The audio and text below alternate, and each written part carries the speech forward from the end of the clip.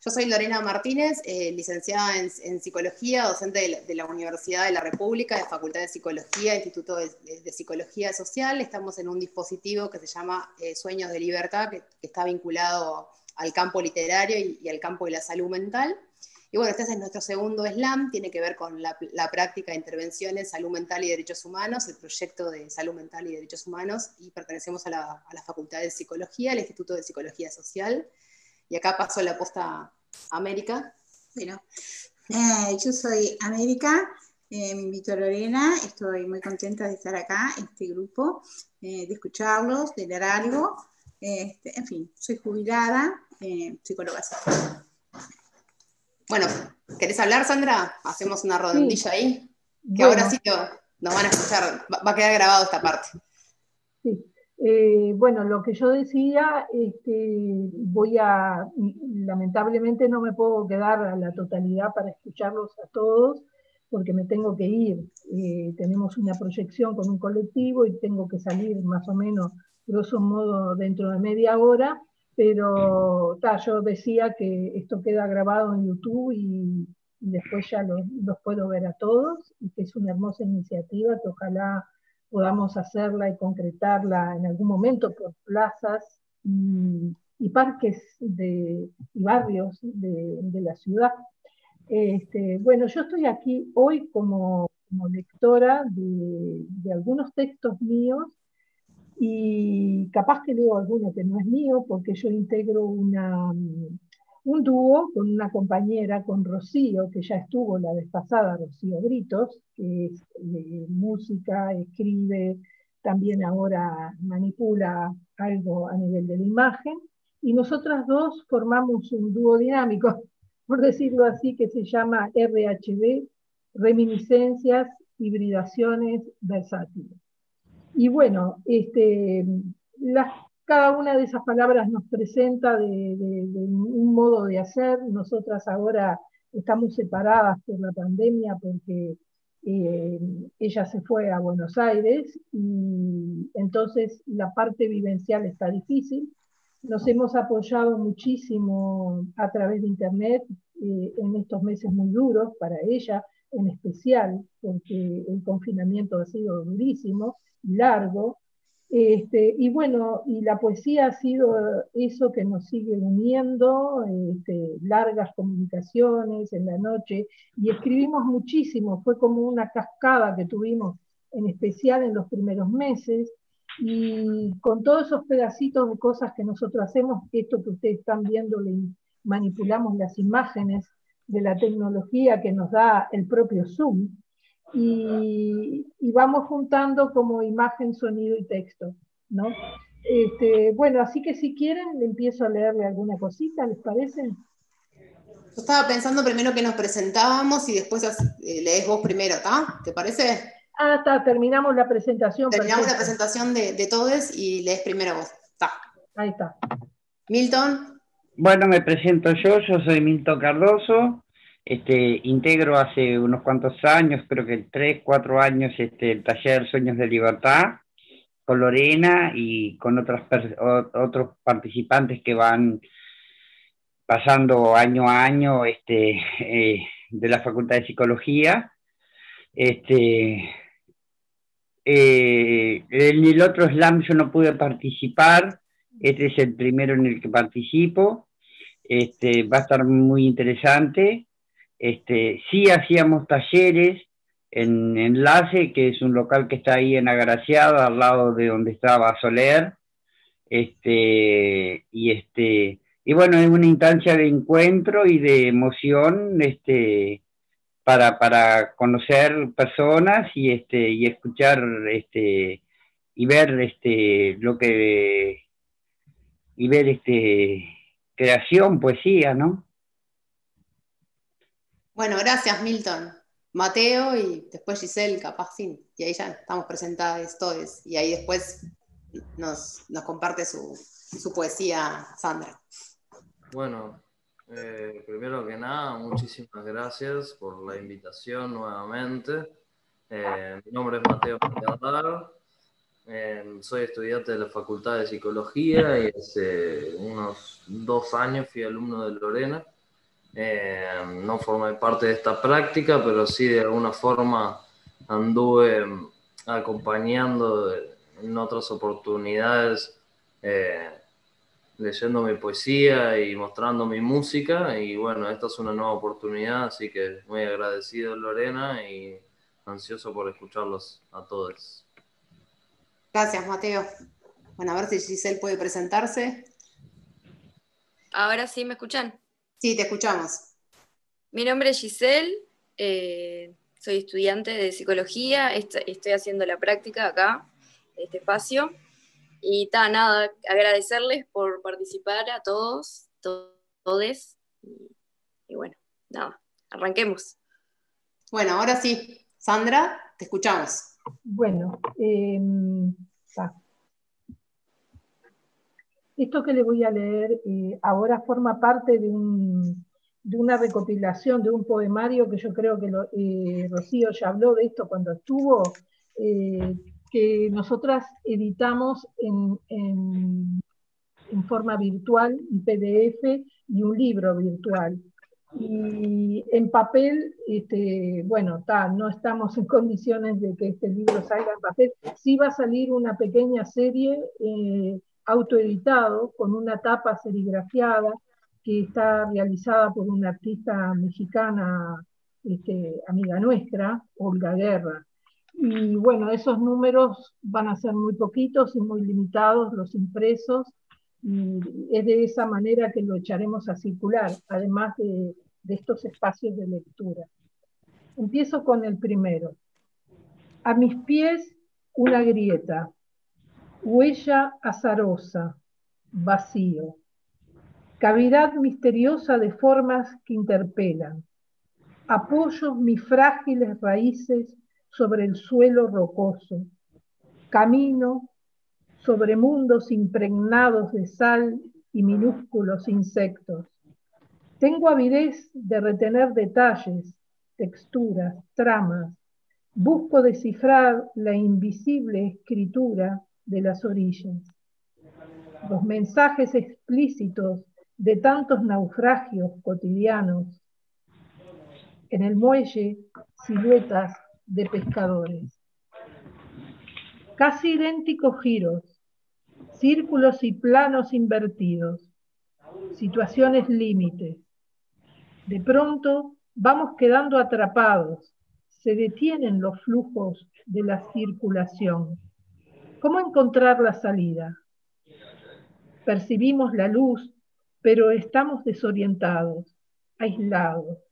Nos vamos disolviendo en una atmósfera penumbrosa, sin amor, sin furia, que nos despierte. Ciudad de poetas y monstruos, asaltadas por el odio. Los escribas del orden redactan las fórmulas de sentencia. Hay órdenes de limpiar, traer tranquilidad con las armas, ahuyentar lo feo que perturba, cuerpos contra cuerpos, en la asimétrica realidad social. Desolación por tus calles, miedo en tus noches. Urgentes, pongámonos alas, juguemos a los invisibles ángeles de la rebelión. ¿Cómo despierta el mundo hoy? ¿Hacia dónde miran millones de ojos?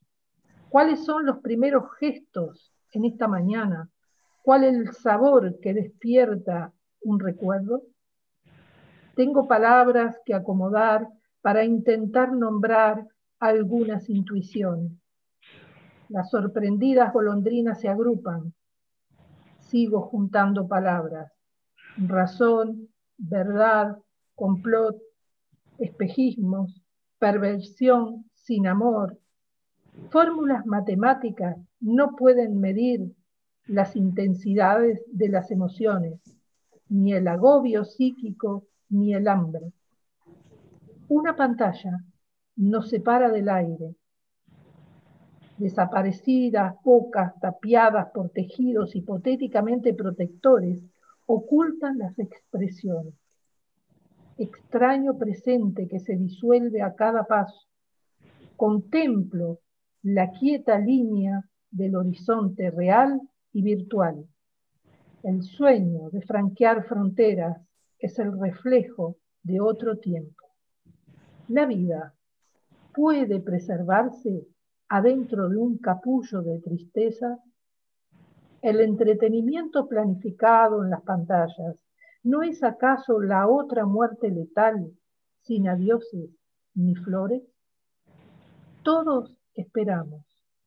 ¿Y si no hay después? Bueno, no sé eh, si voy hasta ahí, Lorena, si, es suficiente. Muy lindo, muy lindo. Bueno, gracias. Eh, es como ah, lo que sentimos nosotras eh, con, esta, con esta normalidad. Sí, sí, sí, tal cual. Sí, eh, yo decía si era suficiente porque tenemos que repartir el tiempo o bien, no sé, todavía tengo un tiempo para leer. Me tienen que hacer una señal así con un dedito porque yo ya le hice una lectura y somos unos cuantos para compartir el tiempo. O sea, de repente leo una cosita más, no sé, probablemente entendieron, alcanzaron a escuchar lo primero que leí. Sí, bueno, está. Escuchamos, sí, escuchamos. Está, está, gracias. Bueno, entonces yo leo uno más y, y ya está, así. La marea va y viene, arrastra espuma, atrapa pensamientos y se los lleva. Hoy simplemente salí a respirar, abrazando el majestuoso cielo, hundiendo mis pies en la arena. Por algunas horas se alejaron de mí la terrible pandemia y el mortal virus. La vida es el afuera, pura potencia. Los cuerpos en estado de vigilia permanente son nuestros propios enemigos. Desde las pantallas el mundo se vuelve plano sin estrías. Afuera el mar, adentro el miedo, sin tocar ni ser tocado. En soledad cantamos. La virtualidad es nuestra nueva sangre.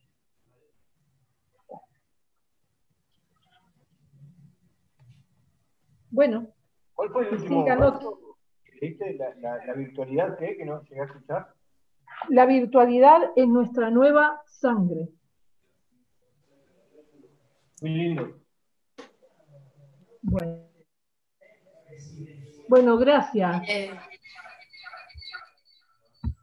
no, gracias a, vos por participar. ¿A mí me escuchan con delay también? Creo que a todos me escuchan.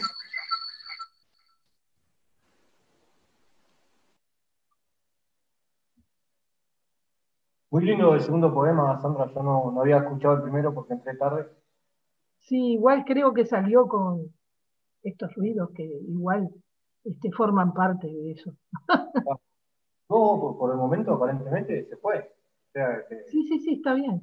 No se olviden que hay una capa eh, sonora que nos envuelve, que son este, electromagnéticas y están producidas por la saturación de los celulares, de las antenas y de la energía eléctrica de todo lo que nos rodea. Hay algo que acá lo estaba captando. Normalmente cuando se usan unos, unos micrófonos especiales se pueden escuchar estos ruidos que habitualmente nuestros oídos no lo escuchan, pero son sonidos que, que nos habitan, nos atraviesan todos los días, todo el tiempo. Sí, sin duda. o, nos acostumbramos, ¿no? No nos acostumbramos de, niños quizás a escuchar ese, rumor constante que hay, ¿no? Basta salir de, la capital para darse cuenta, ¿no? Sí, sí, pero hay, es curioso, este, nosotros por ahí América está, el otro día vimos unas películas distópicas y donde hay un grupo que hizo una experiencia con unos micrófonos, unos captores bastante artesanalmente hechos que podían captar esas cosas cuando pasaban delante de un comercio, de cualquier lugar y habían sonidos extraños un poco parecidos a esto, que habitualmente cuando uno está delante de una tienda, lo que fuera, no, no los escucha, pero que eso es un captor, son captores especiales de que sí, y yo pienso que, que bueno.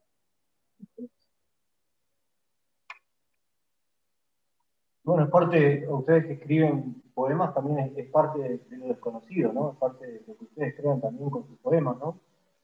De, ese misterio que más allá de nuestras percepciones, ¿no? Ese tipo de sonido que venimos a escuchar ahora, a mí no sé por qué, eh, es un sonido del fin de algo, del fin de un mundo, y a su vez del comienzo. Porque normalmente somos sonidos, venimos de, de, una expansión sonora que, se, que existe desde que se, se, formó el planeta y las constelaciones. Entonces estamos metidos dentro de eso. Yo, yo, no escribo poemas y no sé si, si, me están todos escuchando bien, pero dentro de los poemas que hemos hecho en estos talleres hemos, este, hemos leído algunos poemas de, de, de poetisas uruguayas y este, eh, buscando entre ellos me gustó mucho uno de Juana de y, si quieren lo comparto. Eso, dale. Es de Juana Ibarburú, eh, habíamos leído algo de Vida Vitale y de, y Sara Ibáñez, y es que me, pareció más sencillo, más, más este, directo, un lenguaje más directo, y este, se llama Despecho, y dice algo así. Ah, que estoy cansada, me he reído tanto, tanto que a mis ojos ha asomado el llanto, tanto que este rictus que contrae mi boca es un rastro extraño de mi risa loca. Tanto que esta intensa palidez que tengo, como en los retratos del viejo abolengo, es por la fatiga, fatiga de, la de la loca risa, que en todo mi cuerpo su sopor desliza. Ay, que estoy cansada. Déjame que duerma, pues, como la angustia, la alegría enferma. Qué rara ocurrencia decir que estoy triste, cuanto más alegre que ahora me vi. Mentira, no tengo ni dudas, ni celos, ni inquietud, ni angustias, ni penas, ni anhelos si brilla en mis ojos la humedad del llanto, es por el esfuerzo de reírme tanto. Y ahí terminó. Pero está muy bien. Porque es verdad, siempre nuestras emociones están oscilando entre la, entre la risa y el llanto, ¿no? Este, Cierto. Y es eso lo que se cuenta, que si bien la ven cayéndose en lágrimas de, sus ojos, no es por, por tristeza, sino por llanto. Eh, a revés, por alegría. Y bueno, me gustó mucho y quería compartirlo con ustedes. Gracias.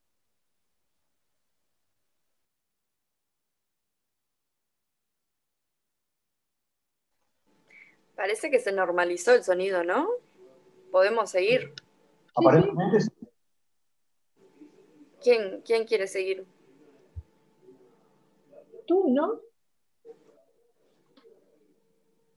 Yo tengo uno que elegí para. Yo tampoco escribo como Luis. Eh, nosotros los dos elegimos poemas eh, para compartir. No sé si quieren que lo comparta ahora o, lee Mateo y yo después lo comparto, como quieran. Bueno, voy.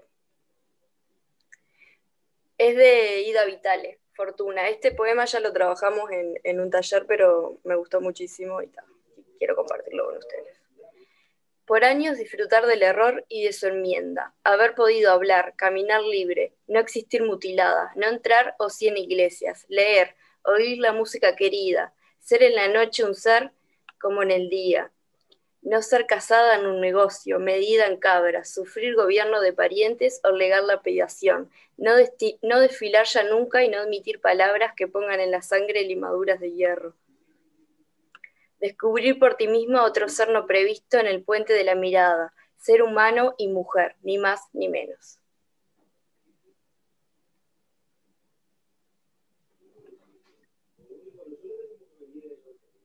¿Se escuchó? Sí, muy bueno, lindo.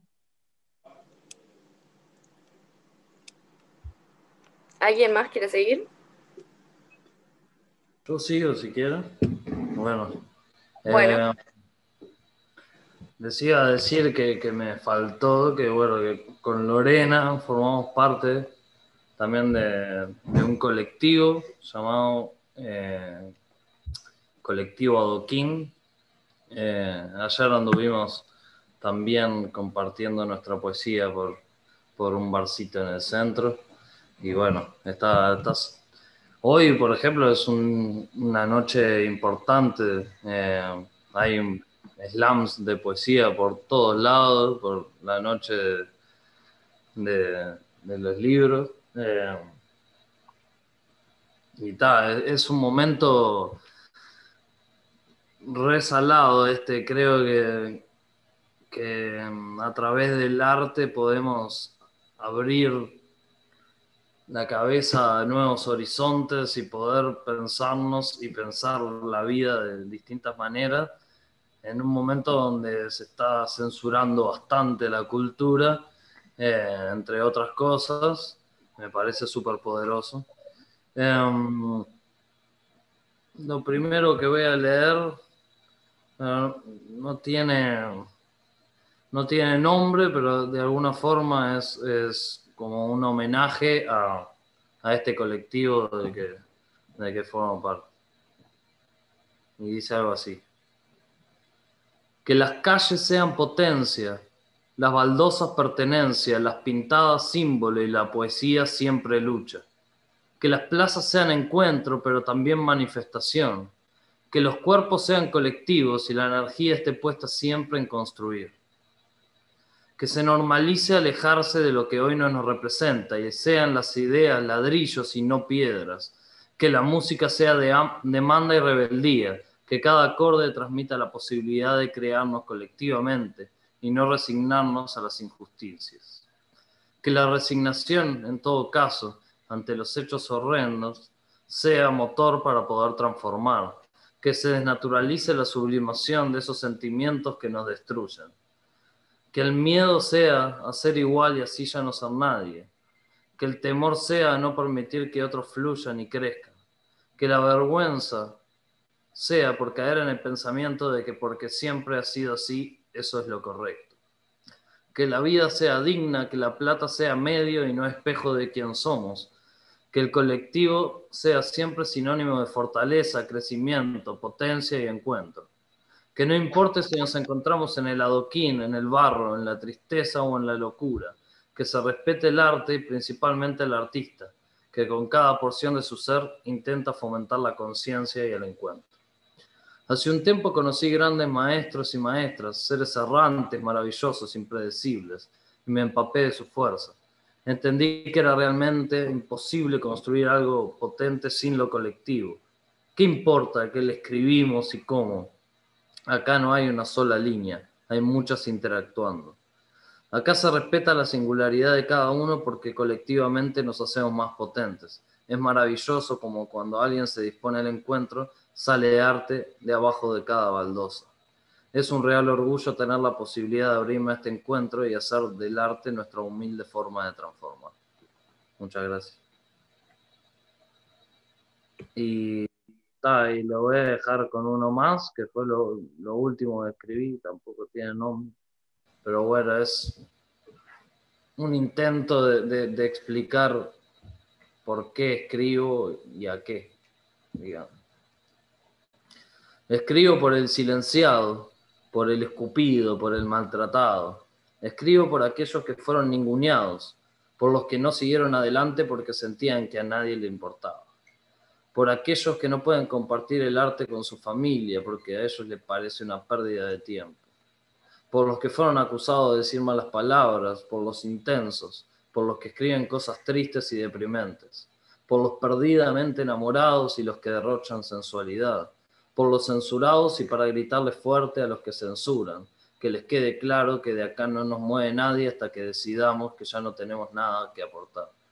Escribo por los que sienten, escribo por los que sienten unos nervios insostenibles cada vez que exponen su arte, por los errantes, por los que cuentan su historia, por los que no se animaban, por los que aún no se animan. Escribo para darle voz y potencia mis vivencias. Escribo para conocerme más y hacer eco con mis ruidos internos.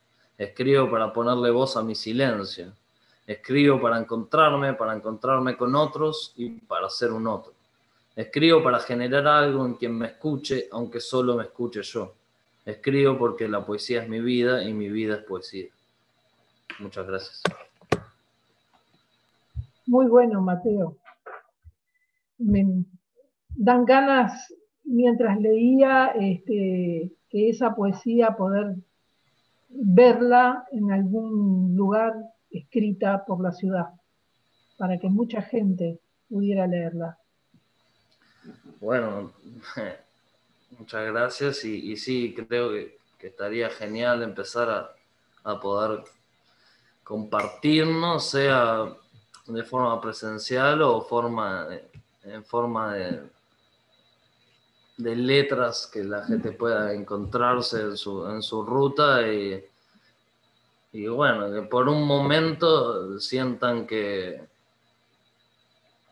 sintamos que no estamos solos, sino que en realidad estamos, somos composición y que no podríamos ser sin, sin el encuentro con el otro. O sea que ese encuentro con, con la poesía en cualquiera de sus formas me parece que, que, es algo que tenemos que fomentar y por eso muy agradecido por, por esta oportunidad.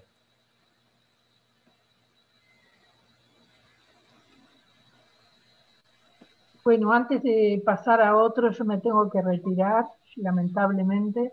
Les dejo un beso grandote y espero eh, escucharlos más tarde en YouTube si está grabado y volver a encontrarnos. Chao. Muchas gracias, Sandra. Gracias, Sandra. Bueno, voy a leer uno cortito que es parte de es parte de una serie que se llaman Los trapos y los cartones. Los trapos se despeinan en las volquetas, ríen alocados por las cunetas. Los trapos. Los trapos se ovillan en las puertas, duermen su sueño en un vino de estrellas. Ríen los trapos de uñas negras y orines insolentes. Paso, pasamos, hay culpa, olores. Mejor los trapos los quemamos. Ay, los trapos dan miedo. Verbos también.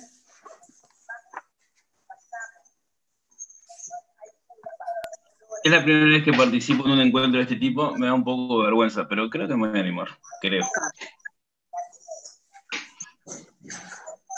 Pero ¿Lees vos o yo, Jorge? Yo. Yo ¿Eh? porque vos, ah, dale, dale, vos, vos, estás ducha en esto.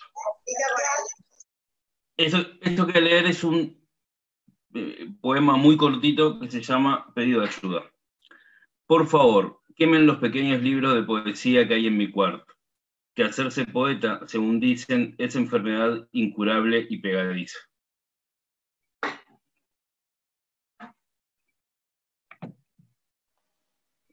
¿Lo podrías repetir?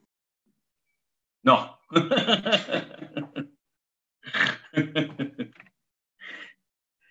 No vas a pasar por esto, ahora se repite solo con el loop. Ah, bueno, eso es cierto. Porque fue, fue tan, fue corto y cuando lo empecé a, a disfrutar se terminó y no llega. Se llama, se llama Pedido de Ayuda y dice: Por favor, quemen los pequeños libros de poesía que hay en mi cuarto que hacerse poeta, según dicen, es enfermedad incurable y pegadiza. Ah, Gracias. Muchas gracias. Esta vez fue, fue, más, más, loco que la vez pasada. y eso que tenemos a la compañera de medios ayudándonos, pero bueno, acá, ¿qué vamos a hacer? Así es la poesía. Bailar, bailar, ¿Cómo se traduce en el, lenguaje del cuerpo? ¿Qué lengua detenta el silencio acumulativo? Pausa que pausa, propone el impas. Cuando se naufraga en varios naufragios, quizás la clave sea ser la viuda alegre, alegre sin ostentar mi lengua, alegre por no dejar declinar en bostezos inconexos, ser viuda sin haber enviudado, enviudar la idea de que no hay interludios, sino una larga sinfonía enviudando ideas, de un vals que nunca ha de bailarse traduciendo en el cuerpo la construcción de un solo de dance, bailar hasta desdoblarse, bailar por bailar, en honor al baile, bailar. Bailar. ¿Cómo se traduce en el, en el, lenguaje del cuerpo. ¿Qué lengua detenta el silencio acumulativo?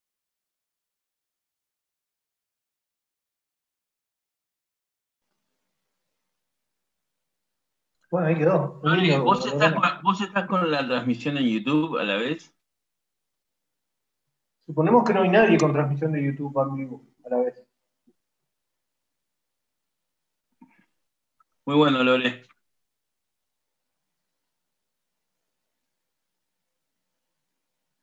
¿Falta alguien? Creo que no. Eh, No, nunca se normalizó la, la comunicación, me parece. sí, nunca pudimos lograr. Nunca lo- o sea, auxilio, auxilio. No, yo no la, no la tengo abierta la transmisión en YouTube. Que no hay nadie con transmisión de YouTube en vivo a la vez. No, pensé que había- habíamos quedado en eso, pero no lo hicimos, pero igual, no sé, bueno, es la tecnología, la tecnología nos, no nos quiere tanto, me parece. Bueno, leo, leo uno más y capaz que, no sé si Mateo quiere tocar algo. Leo uno más y que no. está. ¿Para que se me fue lo que iba a leer? Porque lo voy a leer de acá. No, nunca se normalizó la, la comunicación. Sí, nunca pudimos lograr. O sea, auxilio, auxilio. No, yo no la, no la tengo abierta la transmisión en YouTube. No, pensé que había- habíamos quedado en eso, pero no lo hicimos, pero igual, no sé, bueno, es la tecnología, la tecnología nos, no nos quiere tanto, me parece. Bueno, leo, leo uno más y capaz que, no sé si Mateo quiere tocar algo. Leo uno más y... Está, está. Taciturna. Fue lo que iba a leer. Como si, la, como si la vida pasara por un turbio torbellino. Estoy recostada, sin ánimo, y espero que pase el temblor. Espantando mis fantasmas, estoy estremecida, ausente, sin ganas de nada. Espero que pasen los temblores y la tristeza se funda en mi exilio de mí. Ni tempo ni poste, apoltronada, en llanto escondido e hiriente. Quisiera querer la vida, le huyo mientras el suspiro maloliente de la parca, esperando ir al polvo y volverme a la tierra, que siempre es una estela. No sé si Mateo quiere tocar algo.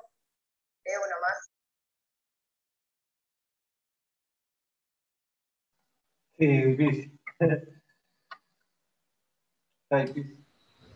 Bueno, eh, si quieren, eh, pensaba compartirles dos canciones. Eh, veremos si, si, si este problemita nos lo permite.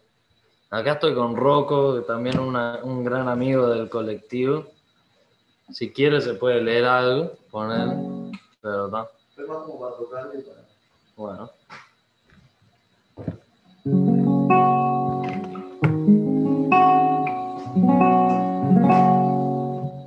Esta canción se llama En las retinas del alma.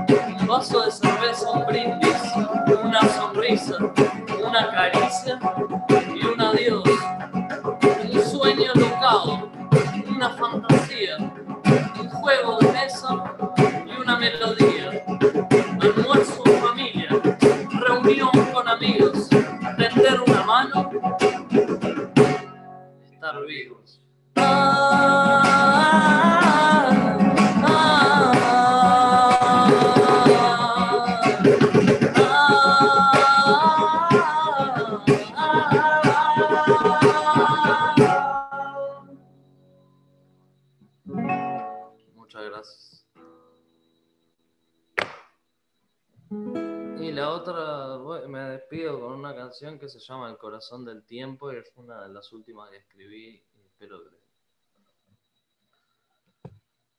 Despertando con sed de vida, pedirle al viento que nos acompañe. Lento,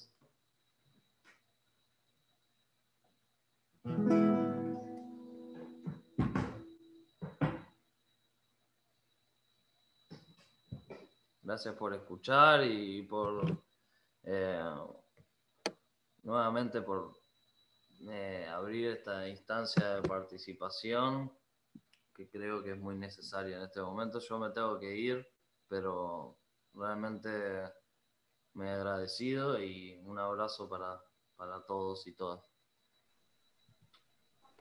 Muchas Gracias Mateo.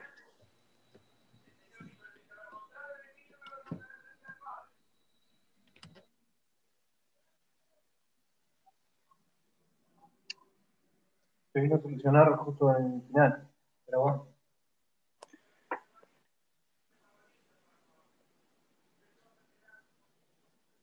Creo que tenés el micrófono apagado, Lorena.